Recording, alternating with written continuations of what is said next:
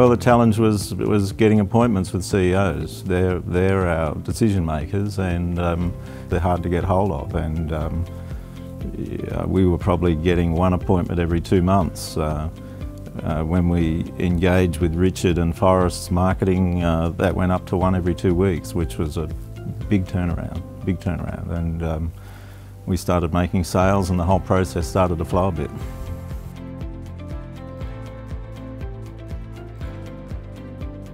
I think I was on my third or fourth telesales person that I'd employed, you know, and and that's difficult and challenging and expensive. You, you employ people, you get to know them, you like them, you don't get the results, you, you know, you've got to, you've got to ask them to move on. Uh, and, and then, uh, as I say, someone introduced me to Forrest Marketing Group and we decided to give that a try and it worked. So that's, that's why. It's, we don't have to we don't have to do any of the managing, uh, we don't have to do any of the performance management. Uh, uh, Forrest Marketing looks after that and we get the appointments.